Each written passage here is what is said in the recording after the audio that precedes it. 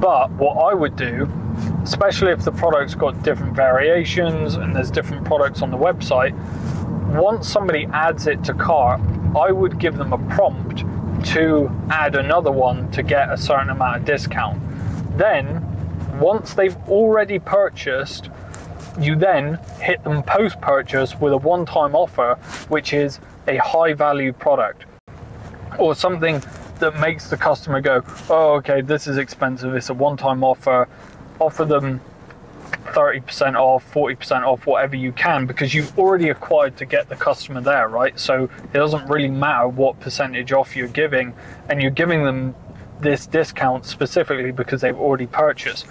Then what happens is most people will click off that and say, no, this is too expensive, this is not what I wanted. So then you hit them with another upsell, which is actually a lower ticket item, which is going to have a way higher conversion rate. So what you've done is you've got the customer to purchase, then you've prompted them to purchase another at a discount, then you've basically psychologically tricked them to be like, whoa, this offer's way too expensive, and it's better to do the most expensive one at first.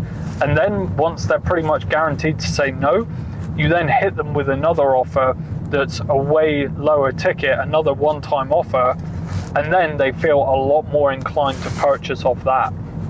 So that's a way that you can up your average order value very quickly by just following that sort of upsell funnel.